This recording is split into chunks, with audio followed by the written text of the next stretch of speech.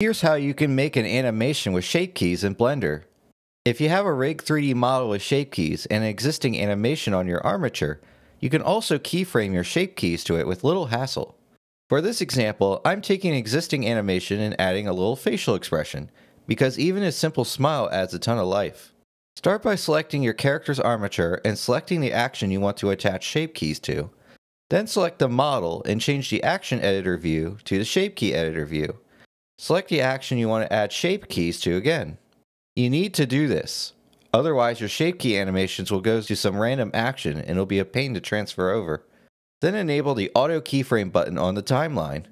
To simulate a smile, go to a keyframe you see fit in the animation and tweak the values for the brow inner up, the eye blink keys, and the mouth smile keys.